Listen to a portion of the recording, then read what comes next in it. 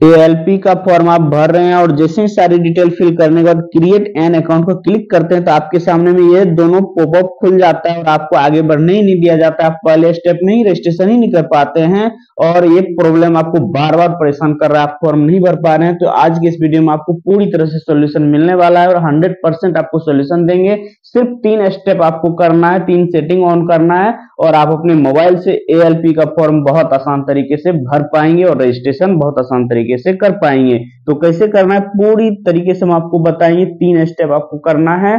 तो और कैसे करना सब कुछ बताएँगे। तो इस वीडियो में आप लास्ट तक बने रहिएगा। तो देखिए, सबसे पहले आपको क्रिएट एन अकाउंट करने के लिए यहाँ से आप जैसी सारी डिटेल फिल करते हैं तो आप नहीं कर पाते हैं। तो आपको तीन सेटिंग करना है। सबसे पहले आपको क्या करना है? अपने मोबाइल में ये जो आप क्रोम ब्राउज़र से आप कर रहे हैं तो आपको क्या करना है? सबसे पहला स्टेप अपने प्ले स्टोर को खोलिएगा और ये एप्स आप सर्च कीजिएगा फायरफॉक्स पहला में आपको सबसे पहला फायरफॉक्स आपको क्या करना है? इंस्टॉल कर लेना है। इसके बाद ओपन कर लेना है इसको। जैसे आप ओपन करेंगे, इसमें आपको दो सेटिंग करना है।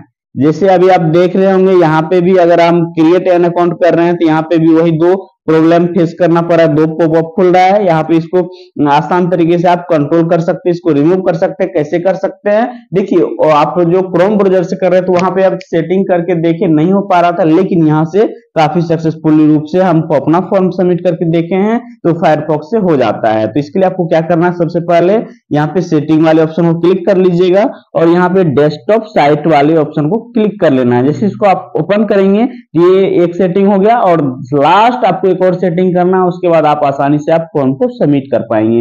इसके बाद इसके तीन लाइन वाले ऑप्शन तीन डॉट वाले ऑप्शन को फिर से क्लिक कीजिएगा और यहाँ पे सेटिंग वाले ऑप्शन पे चले जाइएगा। यहाँ पे एक ऑप्शन आपको दिखेगा एक्सेसिबिलिटी का। इसको जैसे आप क्लिक करेंगे तो आपके सामने में ये 100 परसेंट दिखेगा फॉन्ट साइज़ और ये बिल्कुल कम ज़्यादा नहीं होगा। तो यहाँ पे आपको क्या करना है? ऑटोमेटिक फॉन्ट साइज़ ये जो है ऑन क्या हुआ, इसको ऑफ़ कर देना है। इसके बाद आपको ये जो है 100 परसेंट, इसको कम कर देना है 50 परसेंट पे ला देना है। इसके बाद आपको फिर से ये फॉर्म जैसे आप खोलेंगे तो आपके सामने वही रेलवे वाला है। यहाँ पे क्या आ गया आपके सामने में?